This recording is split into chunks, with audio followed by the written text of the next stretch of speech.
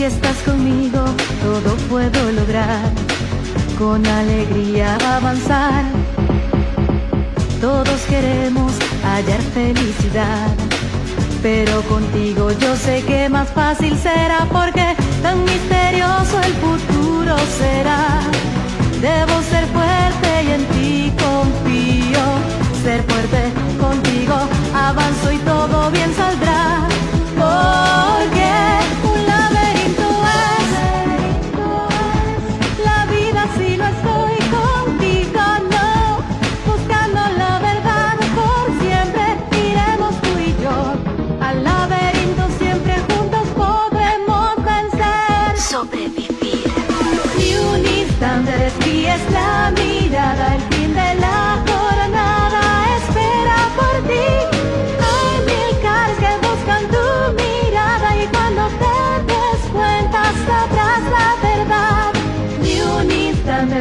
desvíes la mirada, el fin de la jornada espera por ti. Hay mil caras que buscan tu mirada y cuando te des cuenta sabrás la verdad. Escuela de Detectives.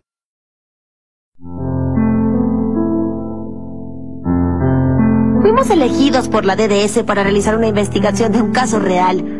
Los de la sección Q somos responsables de este caso en la aldea de Kamikakushi, donde en 10 años ocurrieron 7 desapariciones. Llegamos a la aldea vecina de Kamikakushi, la aldea de Ioutan. Donde nos hospedamos, nos encontramos con un equipo de televisión, quienes buscaban grabar un programa sobre el famoso tesoro de la antigua milicia japonesa. Pero uno de ellos, la reportera Asegami, fue asesinada y su cuerpo apareció en el cementerio. Para resolver este misterio, Kyu, Quinta y Kazuma se quedaron en Ioutan y Ryu y yo nos fuimos a la aldea de Kamikakushi.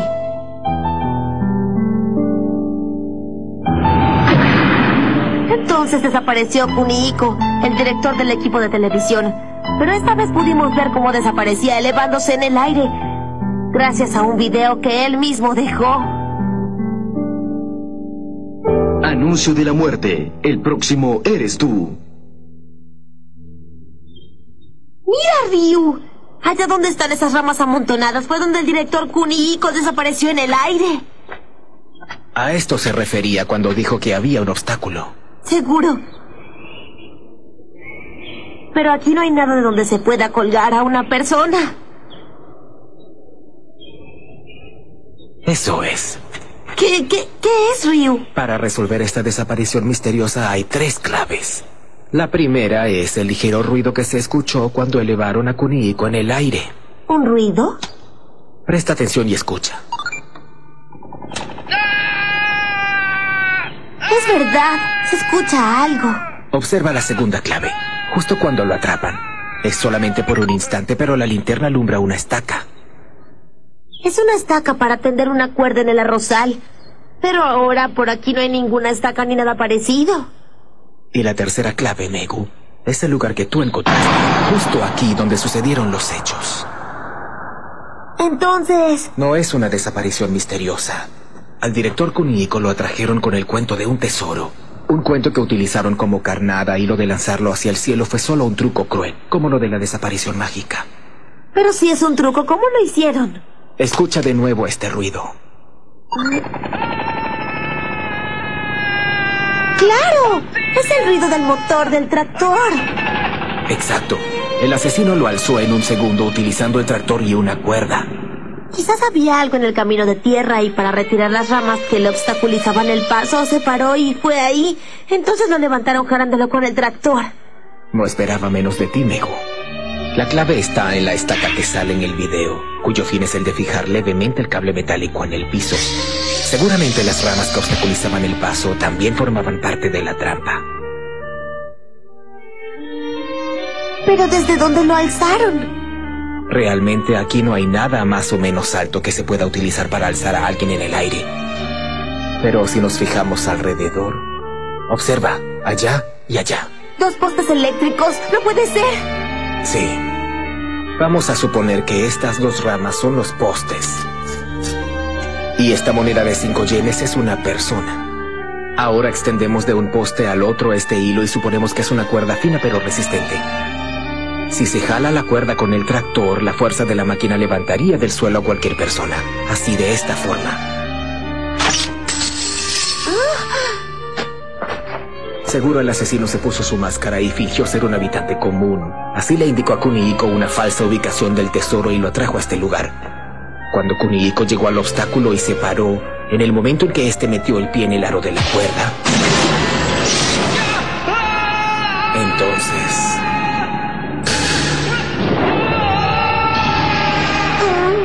Kunihiko fue alzado cabeza abajo, cayó desde una altura de 10 metros y murió instantáneamente. El lugar de la caída está en la mitad de la unión de los dos postes, o sea, ahí.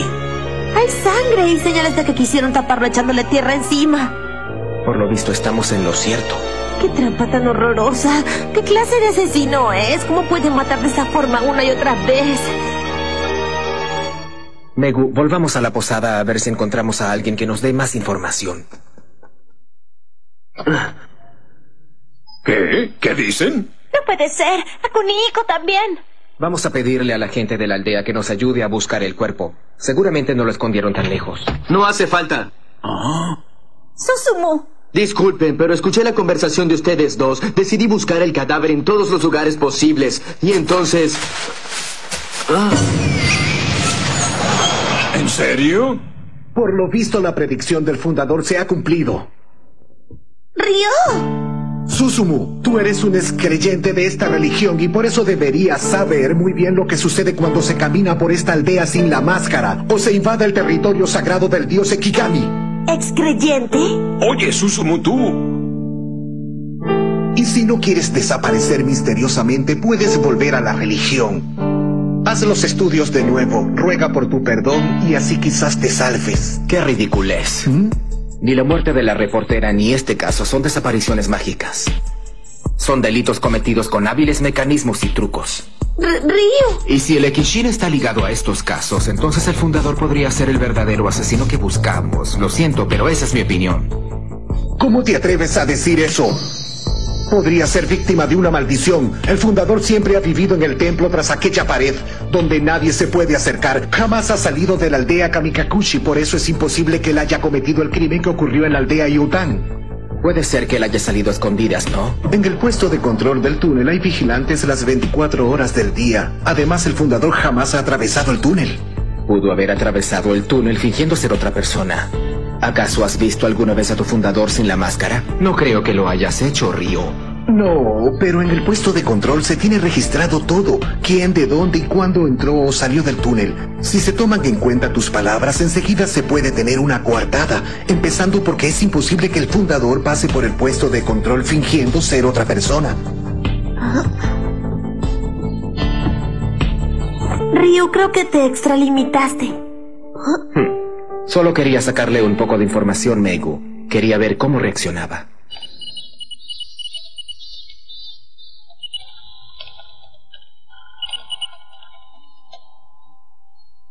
Ah. ¿Cómo va eso, Kazuma? ¿Pudiste descifrar algo? Miren mi cara. Aún no has podido descifrarlo. Les diré algo. Según mi razonamiento, cada uno de estos números representa los 54 sonidos del japonés. Pero van del 1 al 48. Si se trata del alfabeto romano son 26 letras. En el alfabeto coreano solo son 24. El tailandés tiene 44 consonantes y 32 vocales. Y como cambian según la pronunciación, se necesitan muchas más letras. Sigo pensando que eres un chico de primaria muy precoz y extraño. Pero fíjense, en algunas partes salen números encerrados en círculos. Me imagino que son consonantes sonoras y minúsculas. Con esa conclusión ya estás a punto de descifrarlo, ¿no? Sí, yo pensé lo mismo, pero hace rato intenté colocar las vocales A, E, I, O, U y no logré obtener ningún texto. Pensé en hacerlo de otra manera, pero terminé muy confundido. Seguro caíste en tu viejo hábito, ¿no? De pensar demasiado las cosas. A ver, déjame intentarlo. Déjamelo a mí, el genio número uno de la DDS. ¿Cómo es esto? A ver. ¿Cómo es esto? Si muevo la pantalla. Este. ah, ¿Qué pasó? ¿Hay cosas escritas en japonés? Déjame ver. Cuidado, documento confidencial. ¿Qué significa esto? ¿Qué son esas letras? Parecen letras del japonés antiguo. Es un documento hecho durante la guerra. ¿Del japonés antiguo? Abecedario antiguo. Ajá. Quinta, permiso. Oh, sí. Tal como decía Quinta, estaba pensando demasiado. El 1 es I, el 2 es Ro, el 3 es Ja, el 4 es Nin. Lo logré. No era A, E, I o U, sino I, Ro, Ja. En ese orden están los números. Era el código. No, no puede ser. ¿Qué pasa? Miren esto. Déjame ver. Ah, está en el abecedario primario. Es fácil de leer para mí. Soy bueno en esto. Eso no importa, lee rápido. Está bien, cálmate. A ver, a ver. El ejército del Imperio del Japón contra la potencia de Estados Unidos de América. Como último recurso desarrolla el comienzo de un arma bacteriológica, la potente viruela. ¿Viruela? ¿La viruela es la enfermedad viruela? Así es, el ejército del imperio japonés estaba haciendo investigaciones sobre la viruela. Investigaciones sobre la viruela. Se dice que la viruela está siendo estudiada en secreto en algunos países para ser usada como arma bacteriológica. Es un virus terrible y mortal. Entonces el tesoro de la antigua milicia japonesa... Kyu, tienes una llamada de Ryu desde la aldea Kamikakushi.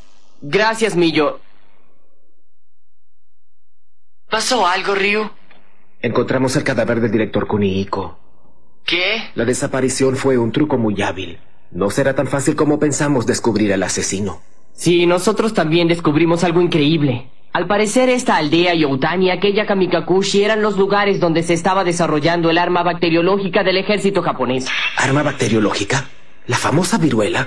¿Qué te parece, Ryu? Las máscaras de Ekishin representan la viruela, el arma bacteriológica. ¿Eso significará que el Ekishin está involucrado en los crímenes? Pensar así es lo más lógico. Debes comunicárselo de inmediato a la policía para que vengan inmediatamente a la aldea.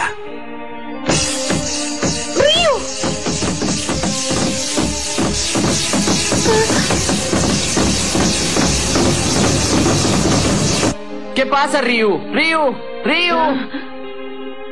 Ryu, Megu.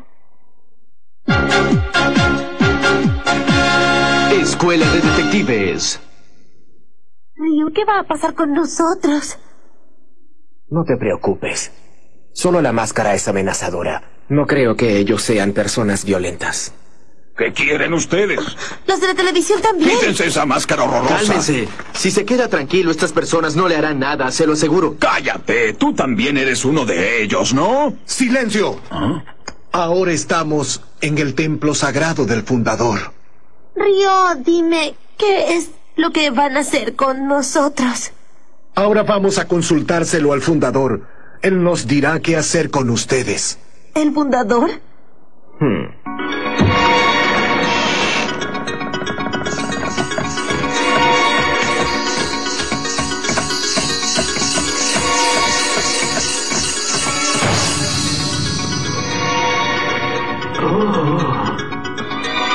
Lo estábamos esperando, señor. Nos avisaron que estas personas estaban caminando por toda la aldea sin ponerse las máscaras de viruela. Por favor, señor, le pedimos su juicio. Lenguaje de señas. Entendido, maestro. Les comunico las palabras del fundador. Ustedes deben marcharse de esta aldea. Esa es la decisión del fundador. Si no se van, algo terrible sucederá y todos seremos víctimas de eso. Esto no es un juego. ¿Creen que nos podemos ir así como unos cobardes después de que mataron a dos de los nuestros y ni siquiera hemos podido hacer ni medio programa? Si lo quieren así, habrá una venganza por Kunihiko y Asegami. Yo, como hombre de televisión famoso, apuesto que voy a revelar la verdadera naturaleza de su religión Ikishin. Esa porquería. Voy a regresar a Ioutan y a rehacer el plan. ¡Hiroki!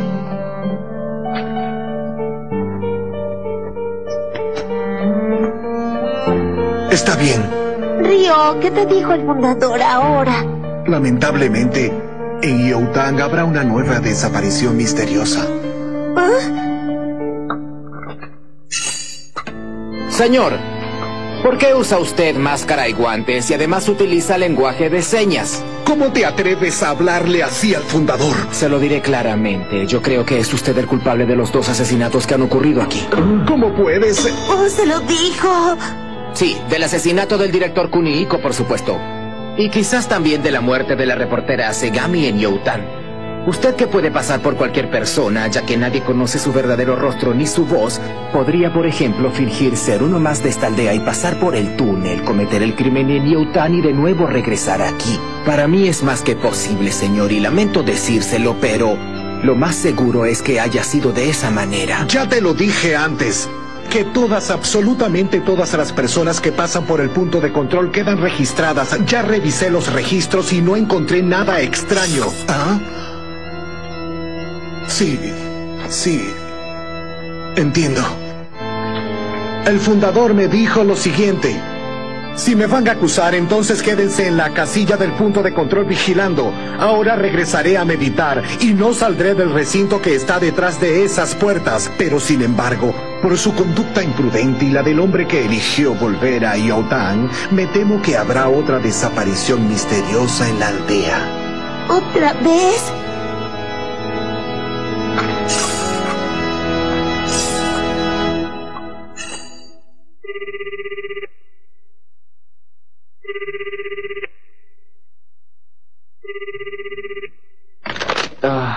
Atienden? no, he llamado varias veces y nada. Diablos, ¿qué habrá pasado con Ryu y Megu? Ah, Maldición, que ese sujeto no crea que esto se quedará así. Cálmese, director Hiroki.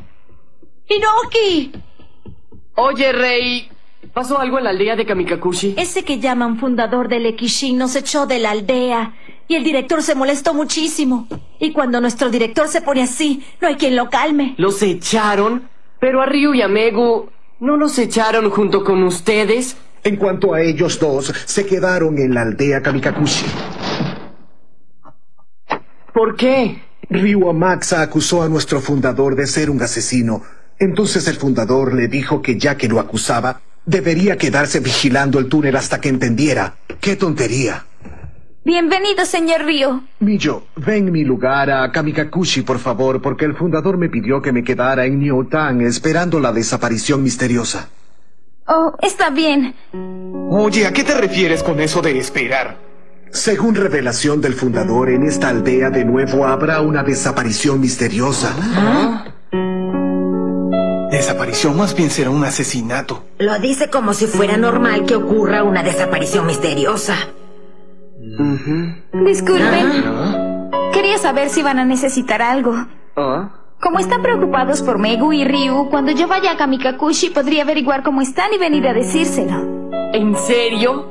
Gracias, Millo. Pero eso de que nos podemos quedar aquí hasta que lo entendamos, ¿qué es lo que pretende? No lo sé. Como tú dijiste, si el asesino es el tal fundador, no podría cometer el crimen de Youtan si no pasa por el túnel. Ahora, si ocurre otra desaparición, él estará descartado como sospechoso. Realmente ese es el punto, Megu. Aunque ocurriera un tercer asesinato, si nosotros estamos aquí vigilando el puente, el fundador tendría la coartada perfecta.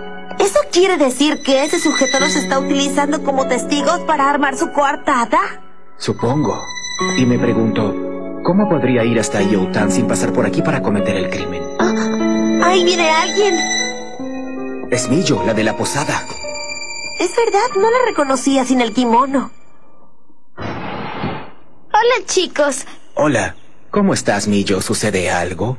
Kyo y los chicos me pidieron que averiguara cómo estaban ustedes dos. Tengo que ir a decirles. ¿Kyo y los chicos? Es que todos están muy preocupados por ustedes. Ah, tomen algo para comer. Muchas gracias, Millo. Cuando estás vestida así, pareces una estudiante de la escuela secundaria. ¿Ah? ¿Sí? ¿Te parece?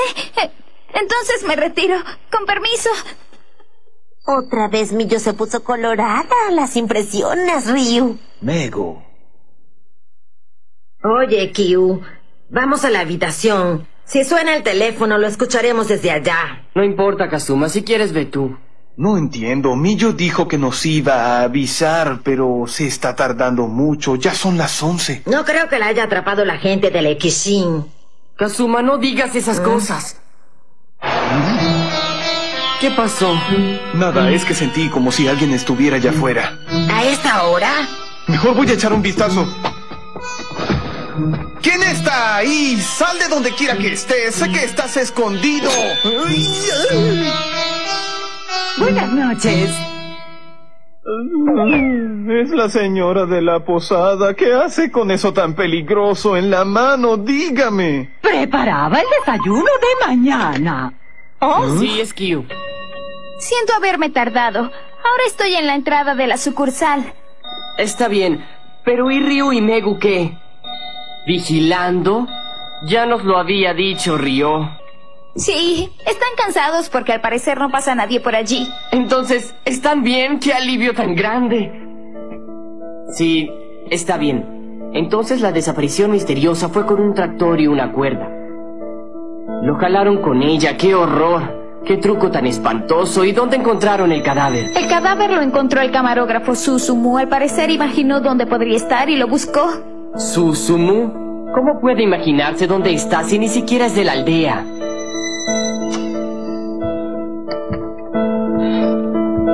Ese hombre perteneció a la religión hace tiempo. Cambió un poco su imagen, por eso no me había dado cuenta, pero sé que vivió hace tres años en la aldea de al lado. Ah, así que vivió en la aldea.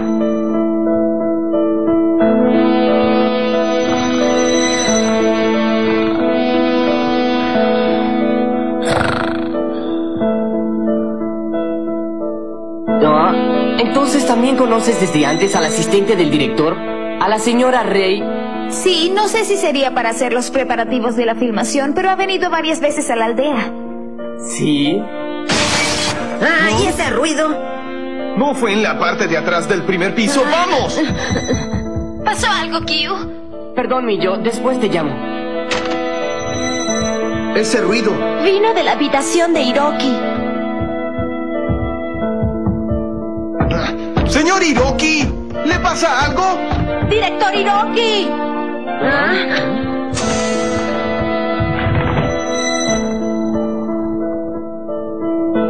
Señor Hiroki.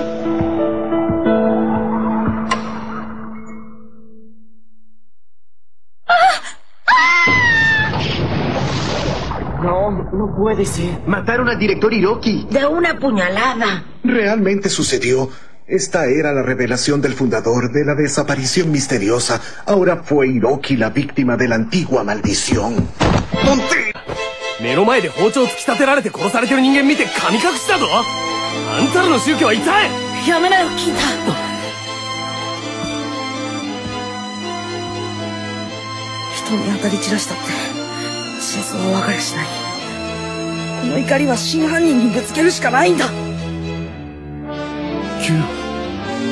ュくそ悔しいよ。事件の真相を突き止めてこんな殺人を起こさせないために来たのに。こんな目の前で残虐な殺人が繰り返されてるのにまだ真犯人の見当もつかないなんて。だけど絶対諦めない。これ以上犠牲者を出さないためにも必ず真犯人を捕らえてみせる。探偵が諦めた。ら事件は迷宮になんだ Tu nombre pronuncié y para no llorar las nubes en el cielo miré. Estoy enamorada, te dije, y la tristeza puedo sentir. Antes de que me veas quiero correr, despedirme yo no podré. Gran alivio voy a sentir cuando estés lejos de mí. Quizás alguna vez nos vamos a ver, otro tiempo y otro lugar, y juntos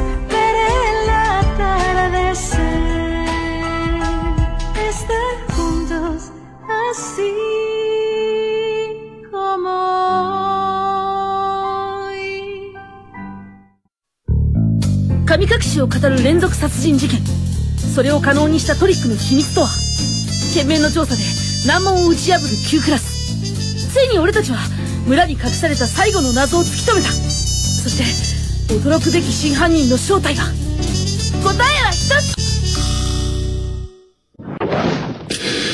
ナナミです。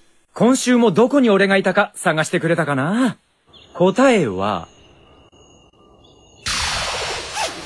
見つけられたかな？来週も待ってろ